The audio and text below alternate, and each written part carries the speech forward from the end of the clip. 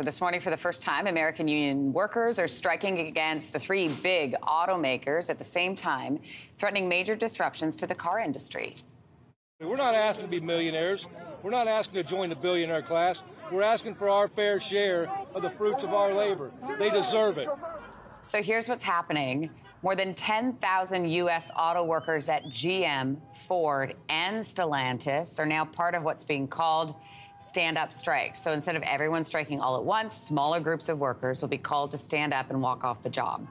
These strikes are starting at three plants in Michigan, Ohio, Missouri as well. Workers are asking for a 40% rate hike, a four day work week, and limits on temporary staffing. This is happening as Canadian auto workers are now negotiating with those same three automakers.